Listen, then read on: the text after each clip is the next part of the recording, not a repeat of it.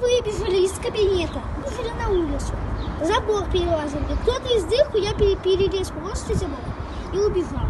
А ты на каком этаже находился, когда все? втором. На втором? Под первым там были какие-то бомбы срывались. Бомбы? Училка вывела нас все, на весь класс. Учительница а, вышла, их классная руководительница в коридор. Мгм. Так не возвращалась. А, учительница по английскому тоже вышла, наверное, чтобы ее найти. Но она вышла и потом вернулась через минуту. У нее было все лицо в крови, и она была испугана. Тогда взорвалась бомба. Две бомбы, две.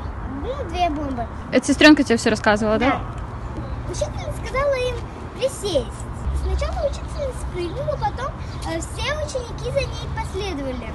Э, они были тогда на первом этаже. С сестренкой с твоей все в порядке? Да, но у нее только оглохло ухо чуть-чуть. а- И двух девчонок, а у одной вот тут прям кровь у коленки, и у другой вот тут.